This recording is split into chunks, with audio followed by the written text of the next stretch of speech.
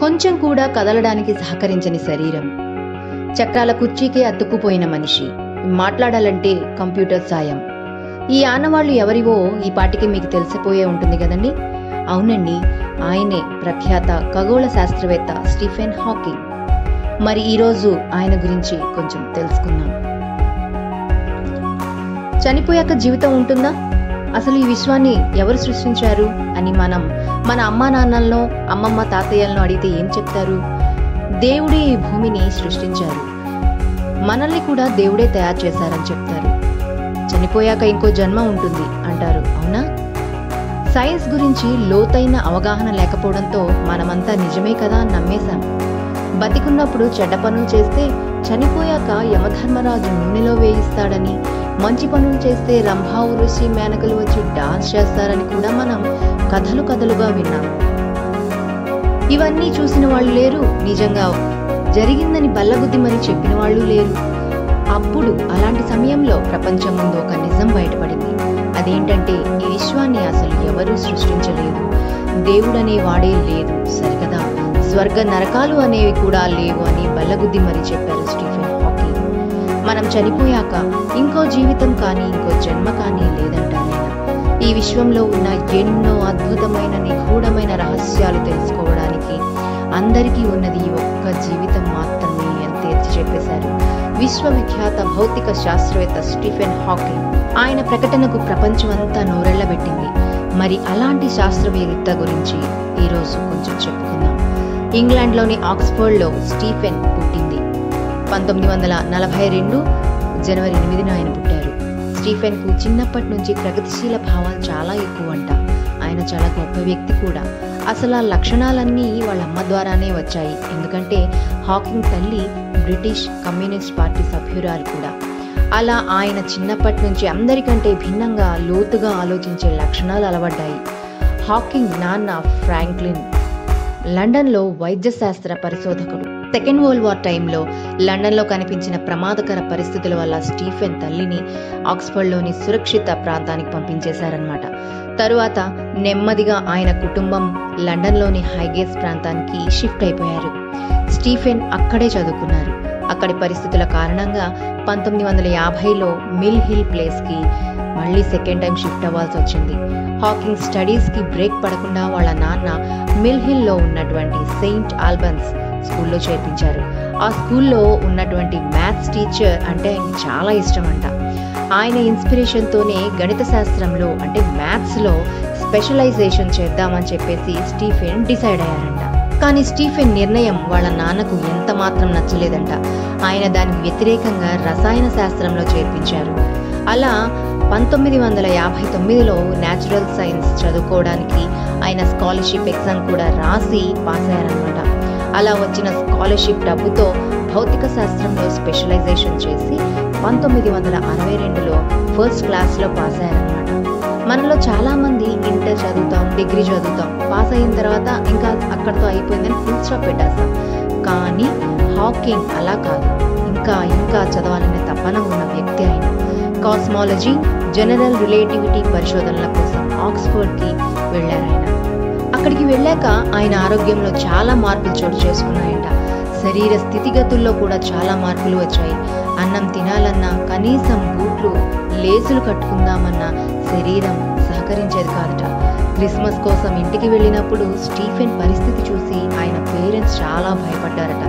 భోజనం చేయడానికి కూడా పడుతున్న ఇబ్బంది చూసి వాళ్ళ అమ్మ కంట నీరు కూడా పెట్టుకున్నారట. ఏం జరుగుతుందో తెలుసుకోవడానికి హాకింగ్కు పరీక్షలు చేయించారు. చివరికి తెలిసింది ఏంటంటే Hawking Stephen Hawking motor neuron disease అనే వ్యాధితో బాధపడుతున్నారని. దీన్ని ఎమోట్రాఫిక్ లాటరల్ సెలోరిసిస్ అనే వ్యాధి వ్యాధి అని కూడా అంటారు. ఈ వ్యాధి ఎక్కువగా నరాలు వెన్నెపూస మీద ప్రభావం చూపిస్తుందంట. ఈ వ్యాధి బయటపడే సమయానికి ఆయన వయసు కేవలం ఇరవై ఒక్క ఏళ్ళు మాత్రమే. వ్యాధి ప్రభావం కారణంగా ఆయన కేవలం రెండేళ్ళు మాత్రమే బతుకుతారని డాక్టర్స్ తేజ్ చెప్పేశారు. అంటే ఆయన ఇరవై మూడవ ఏట చనిపోవాల్సిన పరిస్థితి వచ్చింది. కానీ ఆయన సంకల్పం ముందు చావు కూడా చిన్నబోయింది. ఆయన మరణాన్ని జయించి డెబ్బై ఆరు సంవత్సరాలు బతికారు. మన ధైర్యం దేన్నైనా గెలుస్తుంది అని చెప్పడానికి ఆయనకు ఉదాహరణ. హాకింగ్ ముప్పై ఏళ్ళు కేంబ్రిడ్జ్ యూనివర్సిటీలో ప్రొఫెసర్గా పనిచేసి పదవి విరమణ చేశారు. విద్యార్థి దశలో ఉన్నప్పుడు పరిచయమైన జెయిన్ వైల్డ్ అనే అమ్మాయితో అమ్మాయిని ప్రేమించి పెళ్ళి చేసుకున్నారు. భౌతిక శాస్త్రవేత్త Werner Israel Moser composing symphony అనే ఒక పరికరాన్ని తెచ్చి స్టీఫెన్ తలకి అమర్చారు. దానివల్ల ఆయనకు తనను తాను వ్యక్తీకరించుకునే అవకాశం కలిగిందట.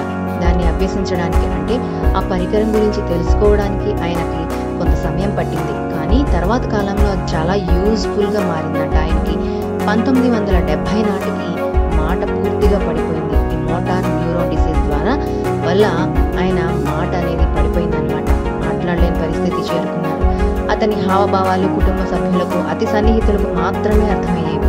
తరువాత కంప్యూటర్ ఇంజనీర్ డేవిడ్ ఏం చేశారంటే ఒక చిన్న కంప్యూటర్ని స్టీఫెన్ హాకింగ్ వీల్ చైర్కి ఫిట్ చేశారు. అందులోని సింథసైజర్ పరికరం హాకింగ్ చెప్పే విషయాన్ని మాటగా మార్చి ఎదుటివారికి వినిపించేలా ఏర్పాటు చేశారన్నమాట డేవిడ్. స్పెల్లింగ్ కార్డ్ మీద అక్షరాలను ఎంపిక చేసుకోవడానికి మొదట ఆయన తన కనుబొమ్మలు కదిలించేవారు. తరువాత పంతొమ్మిది వందల ఎనభై ఆరులో ఈక్వలైజర్ అనే కంప్యూటర్ ప్రోగ్రాం ద్వారా అమర్చిన సాఫ్ట్వేర్ వల్ల సుమారు మూడు వేల వరకు అక్షరాలు పదాలు వాడుక మాటలు అన్నీ ఒక చిన్న బటన్ ప్రెస్ చేస్తే చాలు. అందుబాటులోకి వచ్చేలా ఏర్పాటు చేసుకున్నారంట. నిమిషానికి పదిహేను వందల పదాలు టైప్ చేయగల సామర్థ్యం ఈ సాఫ్ట్వేర్కి ఉండడం వల్ల ఆయన ఉపన్యాసాలు వ్యాసాలు రచనలు అందులో తయారు చేసుకునేవారట. ఉపస ఉపన్యసించాల్సిన చోట అంటే ఎక్కడైనా స్పీచ్ ఇవ్వాల్సి వస్తే ఆ విషయాలన్నీ ముందుగా స్పీచ్ సింథసైజర్కి పంపించి సిద్ధంగా ఉంచుకునేవారు. దీంతో ఆయన అక్కడ స్వయంగా మాట్లాడుతున్నట్లు అనిపించేదట. రెండు వేల తొమ్మిది నాటికి ఆయన తన వీల్ చైర్ని నడుపుకోలేని పరిస్థితి వచ్చేసింది. అంటే వ్యాధి ముదరడం అనేది మొదలుపెట్టింది. మళ్ళీ హాస్పిటల్లో చేరారు. అలాంటి టైంలో కూడా ఆయన మానవజాతి గురించి ఆలోచించారనమాట పర్యావరణ పరంగా సామాజిక పరంగా ధ్వంసమవుతున్న ఈ సమాజంలో మానవజాతి మరో వందేళ్ళు కొనసాగేది ఎట్లా అని ఆయన బెంగ పెట్టుకున్నారంట. ఎన్నో విశ్వవిద్యాలయాల్లో పనిచేసిన స్టీఫెన్కు వ్యాధి అడ్డంకగా మారలేదు. తన నాడి మండలం పూర్తిగా పాడవుతున్న మెదడు సహకరించడాన్ని స్టీఫెన్ గమనించారు. పంతొమ్మిది వందల డెబ్బై నుంచి కృష్ణబిలాలపై పరిశోధనలు ప్రారంభించారు. తీరిక లేక్ని స్టీఫెన్ తనకు వ్యాధి ఉందన్న విషయాన్ని కూడా మర్చిపోయారు. క్వాంటమ్ థియరీ జనరల్ రిలేటివిటీలను ఉపయోగించి కృష్ణబిలాలు కూడా రేడియేషన్ను వెలువరిస్తాయనే విషయాన్ని ఆయనే ఫస్ట్ కనుగొన్నారంట. పంతొమ్మిది వందల డెబ్బై ఒకటి నుంచి బిగ్ బ్యాంగ్ పై పరిశోధనలు మొదలుపెట్టిన ఆయన కృష్ణబిలాలకు సంబంధించి ఎన్నో విషయాల్ని ఆవిష్కరించారు. పంతొమ్మిది వందల ఎనభై నాలుగులో a brief history of time అనే పేరుతో పుస్తకాన్ని రాశారు. కంప్యూటర్ సాయంతోనే పంతొమ్మిది వందల ఎనభై ఐదులో పుస్తకాన్ని పబ్లిష్ కూడా చేశారు. అది అమ్మకాల్లో సృష్టించిన రికార్డు అంతా ఇంత కాదుట. ప్రపంచవ్యాప్తంగా నలభై భాషల్లో ఈ పుస్తకం వెలువడిందంటే మరి మాటలు కాదు కదండి. తెలుగులో కూడా ఈ బుక్ పబ్లిష్ అయింది. కాలం కథ అనే పేరుతో ఈ పుస్తకం తెలుగులో మనకు దొరుకుతుంది. ప్రపంచవ్యాప్తంగా ఈ బ్రీఫ్ హిస్టరీ ఆఫ్ టైం నమ్మకాల్లో సృష్టించిన రికార్డు వల్ల అది పంతొమ్మిది వందల తొంభై ఎనిమిది అంటే పుస్తకం పబ్లిష్ అయిన తరువాత పది సంవత్సరాల తరువాత అది గిన్నీస్ బుక్లో ఎక్కిందనమాట మెదడు ఒక్కటి తప్ప మిగతా శరీరం అంతా కుప్పకూలి ఉన్న హాకింగ్ తన చేయాన్ని క్షణకాలమైన మర్చిపోలేదంట. విశ్వ విజ్ఞానానికి తన వంతుగా కొత్త విషయాలను అందిస్తూనే వచ్చారు. చివరికి ఆయన రెండు వేల పద్దెనిమిది మార్చ్ పద్నాలుగున మరణించారు. కాదు కాదు భౌతికంగా మరణించిన ఆయన మన మనసుల్లోనే జీవించే ఉన్నారు. మరి ఆయనకి సెల్యూట్ చేస్తూ నివాళి అర్పిస్తున్నాను.